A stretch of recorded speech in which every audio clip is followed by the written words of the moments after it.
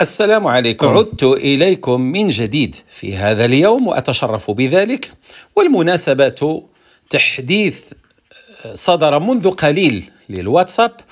يتضمن ميزة متعلقة بالمجموعات لعلها ستفيدكم كما أفادتني.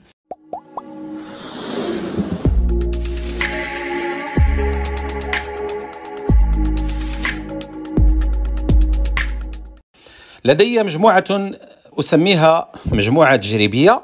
سأدخل الواتساب وأدخل إلى هذه المجموعة التجريبية وأضغط في الأسفل على أيقونة الزائد التي تعني المشاركة وأضغط على آخر عنصر المتعلق بمشاركة جهات الاتصال.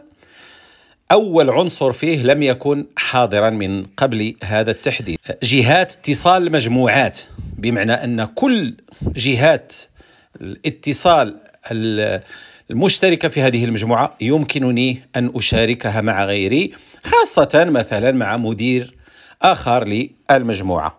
ويمكن أن أستغل الخاصية بأشكال أخرى. أضغط على أيقونة المجموعة.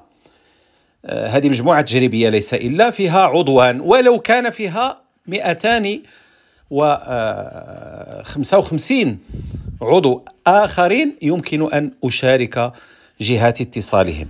ثم تأتي المعلومات عن هاتين الجهتين أو جهات كل حسب وضعه وأضغط. وهكذا تم إرسالها مرة واحدة ضمن بطاقة مشاركة واحدة. إلى لقاء قادم دمتم في رعاية الله والسلام عليكم.